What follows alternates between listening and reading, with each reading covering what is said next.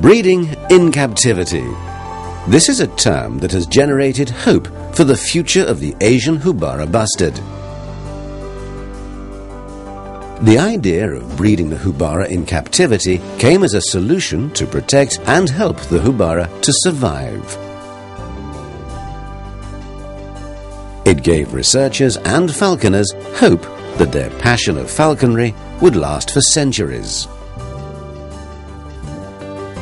Managed by the Environment Agency, the National Avian Research Centre in Sweihan, Abu Dhabi, in the United Arab Emirates, is considered a pioneer in the world of Asian Houbara breeding and conservation.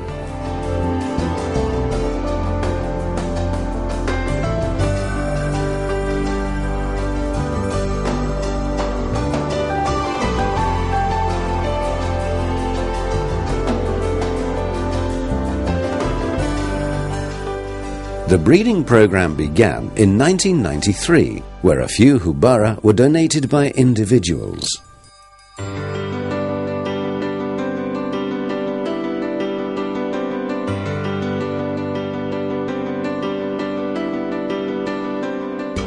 After many attempts, in 2002, experts developed advanced technology for breeding Houbara. They succeeded in producing 49 Houbara chicks in that same year, and in 2004 produced 223 Houbara chicks. The following year, 420 Houbara chicks were produced. Many challenges had to be faced when it came to breeding Houbara in captivity, as the bird itself is very shy.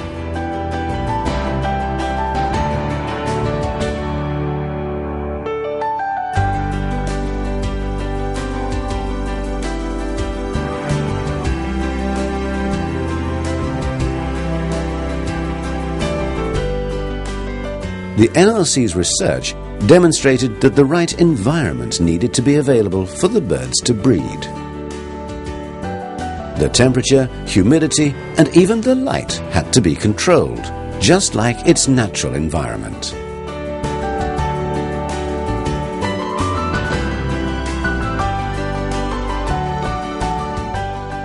A good nutrition program as well as cage sizes also contributed to having healthy Houbara chicks.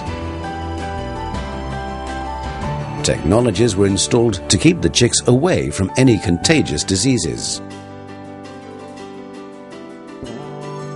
The Centre's preventive medicine program, where the bird's nutrition and water are carefully monitored, has been highly recognized and appreciated.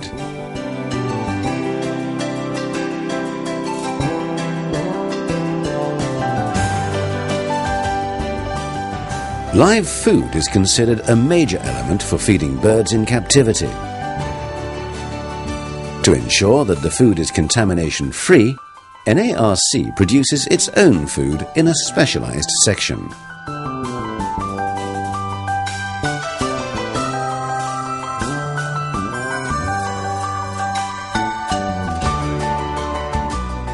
Since the houbara doesn't mate naturally in captivity, artificial fertilization is conducted. Sperm is obtained from the male birds by using a houbara-shaped dummy, as they prefer showing for minutes around the female bird before alliance. A few minutes later, the houbara produces approximately 100 to 150 microliters of sperm, which is collected in glass tubes to be evaluated by experts for quality and quantity. They want to assure the best quality, whereas the quantity should be not less than 10 millionths in the sample.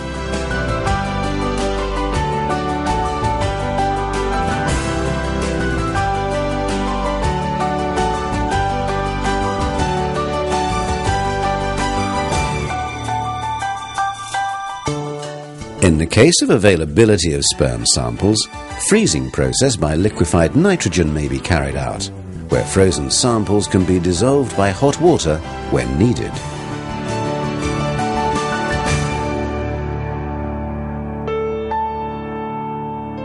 The process produced remarkable results, in spite of the frozen sperm's quality decreasing by half. Experts are still searching for new technologies to solve this problem.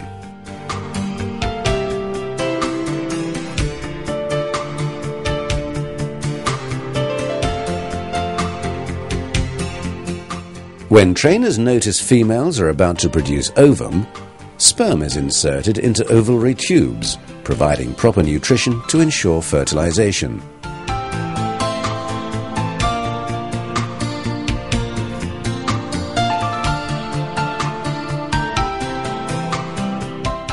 Ovum must be carefully collected twice a day and stored in incubators amid a controlled environment of temperature and humidity.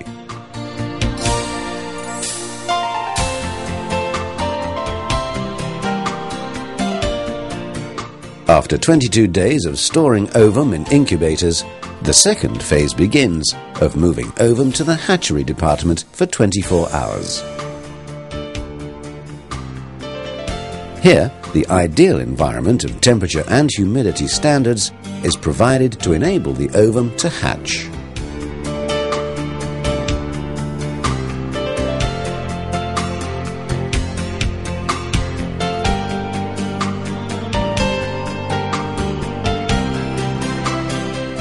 Twenty-three days after being in the hatchery, a full checkup is conducted on the chicks, who will be moved later to the Houbara Chicks Care Unit, where trainers may spend 10 hours a day in the care unit to assure a successful fertilization process.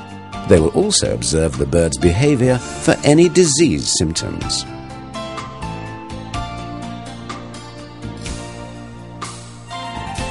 It is noted that amusing is the most active factor for successful fertilization in capture and reduces risk of diseases as for the sensitive, rough nature of the houbara.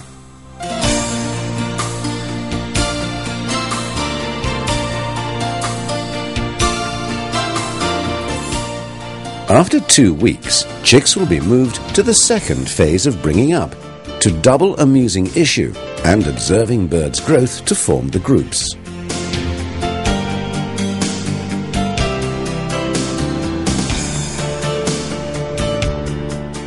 The Houbara birds bred in captivity are now ready to be released into the UAE's deserts.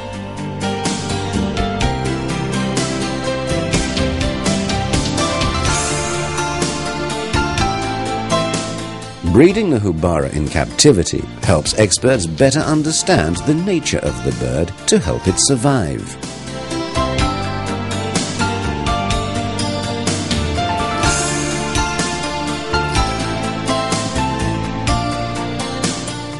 The Houbara is tracked and observed to inspect its behavior, movements, and to determine causes in case of failure.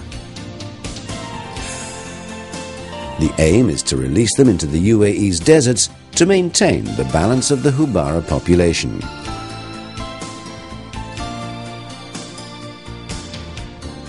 With the Houbara holding a great environmental and heritage value in the United Arab Emirates, all efforts will be maintained to help the Houbara survive.